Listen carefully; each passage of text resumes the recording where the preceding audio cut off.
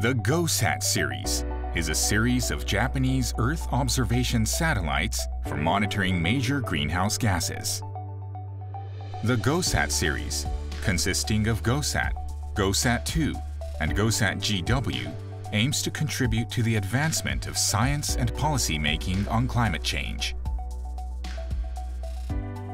GOSAT, the world's first satellite specializing in greenhouse gas observation, has been operating since 2009 and has achieved significant results. With enhanced functions, GOSAT-2 can automatically avoid clouds, which are obstacles to observations, and also observe carbon monoxide. The upcoming GOSAT-GW will be equipped with a new sensor, this will allow wider areas of the Earth's surface and atmosphere to be covered and more data to be collected.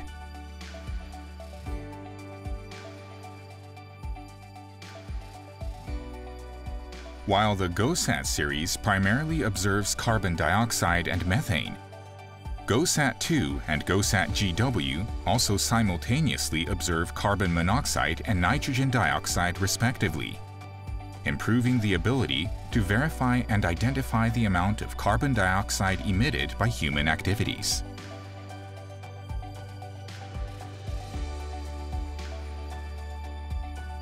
The GOSAT series measures the concentration of greenhouse gases by observing sunlight reflected off the surface of the Earth. Therefore, valid data can only be gathered in clear sky areas. GOSAT and GOSAT-2 observe a circular area of about 10 kilometers in diameter, generally at intervals of 160 kilometers. Although it results in sparse observations, they observe the globe in three to six days. Both satellites are equipped with sensors of the same mechanism and have been obtaining consistent data. This visualization shows the global concentrations of carbon dioxide observed by GOSAT. Seasonal changes can be seen, with lower concentrations in summer regions and higher concentrations in winter regions. This graph shows the monthly average concentration of carbon dioxide in the whole atmosphere, based on GOSAT observation data. Recent observations show that the concentration of carbon dioxide has been increasing by 2.3 ppm per year.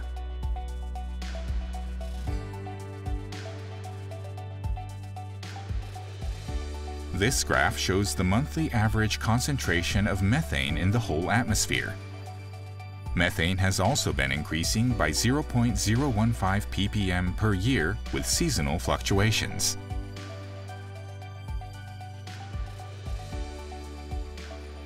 The latest data is available monthly on the National Institute for Environmental Studies website.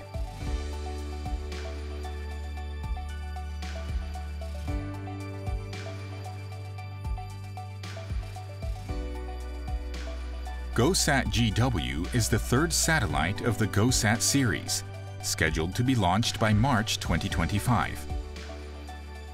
GOSAT-GW will also have another sensor to observe precipitation and sea ice distribution, in addition to greenhouse gas observation.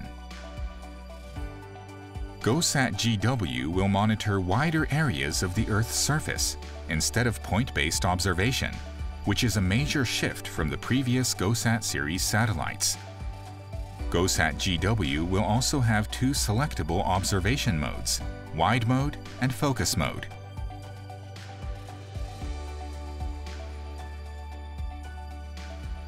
In wide mode, a 911 kilometer swath area is observed with a spatial resolution of 10 kilometers.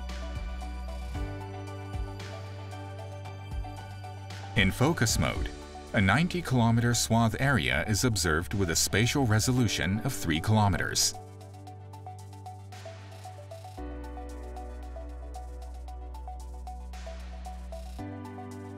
The focus mode will be used for observations targeting cities, power plants, and gas and oil facilities. Let's compare the observation methods of each satellite from the GOSAT series. GOSAT observes the entire globe in three days. However, GOSAT cannot obtain data from cloudy areas. GOSAT-2 observes the entire globe in more detail over a six-day period. Its automatic cloud avoidance function greatly increases the collection of valid data. The ability to observe specific locations is also enhanced.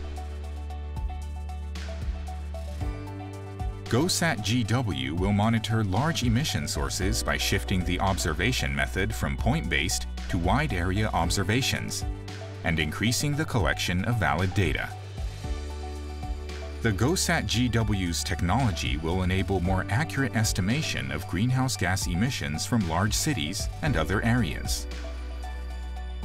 It will also aim to detect emission sources that cannot be detected by current observation techniques. The Paris Agreement requires each country to publish its greenhouse gas emissions. GOSAT GW's observations can also be used to validate the data and improve its accuracy and reliability. The GOSAT series will continue its contribution to the science and policy making of climate change.